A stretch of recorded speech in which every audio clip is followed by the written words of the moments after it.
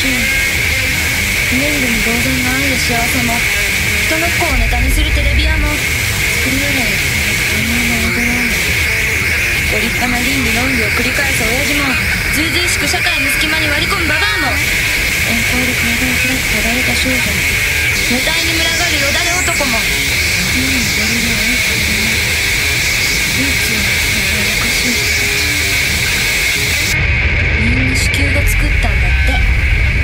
地球が作ったんだってさ。